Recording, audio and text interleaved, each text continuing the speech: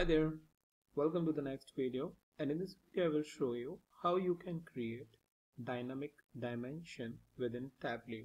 So what dynamic dimension is, it's basically if I take any dimension from this dimension section like uh, product subcategories to let's say rows and uh, sum of sales to let's say on the columns then I get a I get this chart. But on the runtime let's say I want to give a flexibility to my end user where they can change these categories to something else based on some sort of a filter then uh, how we can do that is what I'm gonna show you in this video.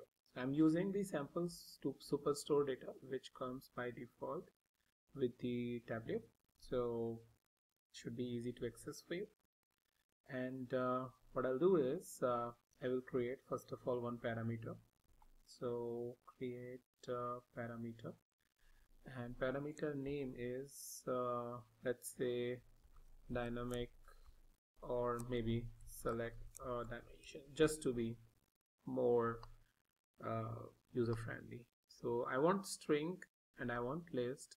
And uh, let's say I want these categories uh, let's say category and uh, product not product but sub category so this name does not have to be same as this because uh, after this to handle these categories we will create a calculated field and there you know it should match with this.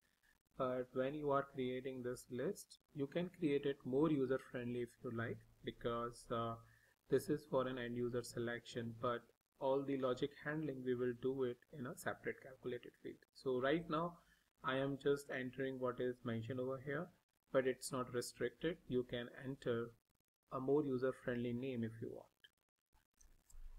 So product name and after that I should be okay.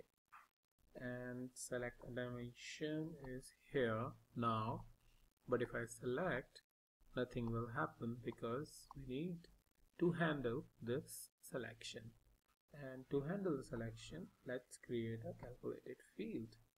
And uh, let's create products dimension because these are all products related dimension and we will use case. Case is uh, select a dimension when um, when you have category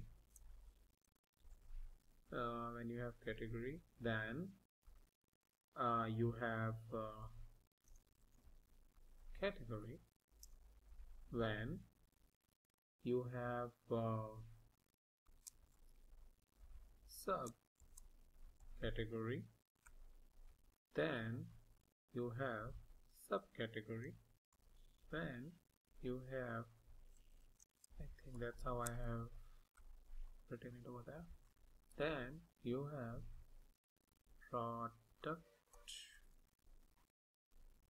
product name. And then end it and just it will create an issue. Because I need to specify the else. Yeah. So click apply ok and remove this. Click over here on the product dimension so right now we have the subcategory as a selection and you are getting a subcategory over here. And if I change it to category now my category is coming.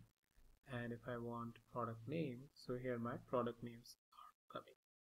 So this way you can add more and more dimensions as per your needs from the dimension section over here and uh, make it dynamic so that your end user is having the flexibility if, if the person is more of an analyst or more from the perspective where he or she will need to deep dive into the data by looking at different dimensions and they are not very much aware about how the functioning of Tableau really works in the backend then you can give this easy interface where user will find it very very useful and interactive.